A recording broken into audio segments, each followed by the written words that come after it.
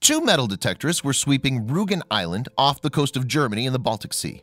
Like all detectorists, people who hunt for buried treasure with metal detectors, they were hoping to find something of historical interest, perhaps even something of value. They definitely came across something. Sadly, it looked like it was just a piece of modern aluminum, but closer inspection would reveal something much more exciting. Metal detecting is an increasingly popular hobby, underpinned by the romantic idea of finding buried treasure, a powerful motive for detectorists around the world. Steve Critchley has been pursuing his metal detecting pastime in the UK for 40 years. He gave a realistic perspective on the chances of finding anything valuable in an interview with The Independent in 2017. There are some people who think that it's a way to make easy money, Critchley told the British newspaper. I tell them they're better off putting a pound on the lottery. The odds are much better than expecting to find something valuable while metal detecting. Those two detectorists on that German island in January 2018 were teacher René Schön and one of his students, 13-year-old Luca Malaschnitschenko. And the treasure hunters figured that the twisted piece of metal, which they at first thought to be a piece of everyday aluminum, was worth closer examination. It turned out that this was an extremely good call because what they'd stumbled upon wasn't an everyday piece of aluminum at all. As they quickly realized, what they'd found was actually a piece of silver. And so the two alerted the Mecklenburg West Pomerania Government Archaeology Department about their discovery. In April 2018, the professionals got to work with an extensive excavation of the site where Schön and Malaschnitschenko had found the fragment of silver.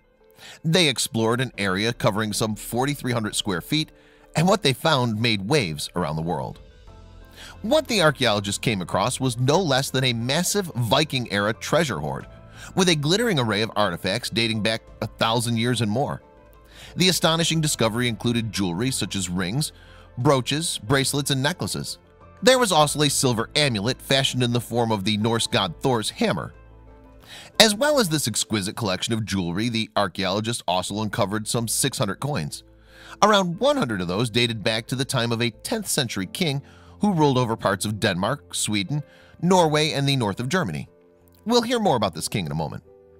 The oldest of these coins was a dirham from the city of Damascus in modern-day Syria with the date of 714. The newest of the coins, a penny, dates from 983. Some of the silver coins have a Christian cross motif, identifying them as some of the earliest currency, specifically from the Kingdom of Denmark. So who was this 10th century king that the archaeologists believe could possibly have been the owner of this treasure? Step forward King Harold Bluetooth, a fascinating figure in a turbulent period when the Vikings held sway over much of Scandinavia as well as other parts of Europe. Harold Bluetooth was the first king of a properly united Denmark, ruling from around 958.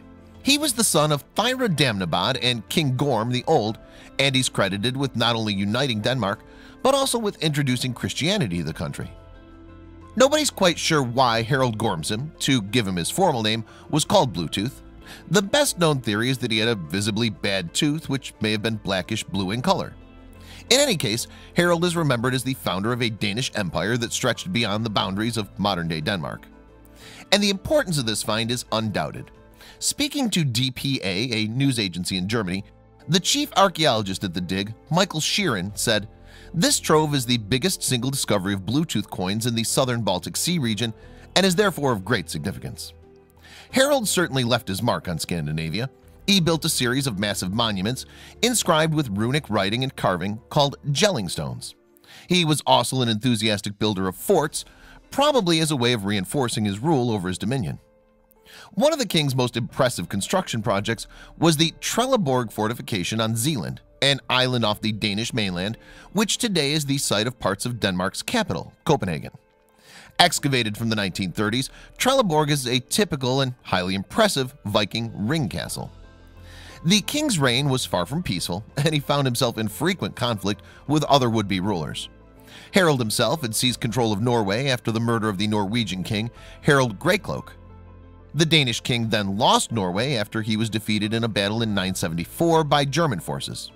He managed to wrest control back in 983. But even though Harold had managed to best the Germans, things only got worse for the king. And this time, his problems came from within his own family.